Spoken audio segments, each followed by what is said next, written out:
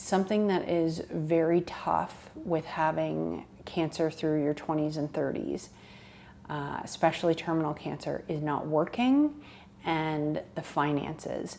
So uh, I have had cancer the majority of my adult life by the age of 33.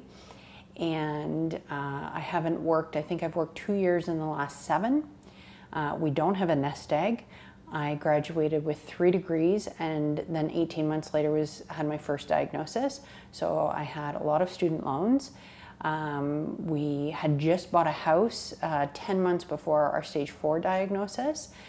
Just time after time, we don't have that nest egg. I didn't have time for savings to then protect me from this. Now I'm not working. It just seems to be time after time with finances. It is just such a struggle.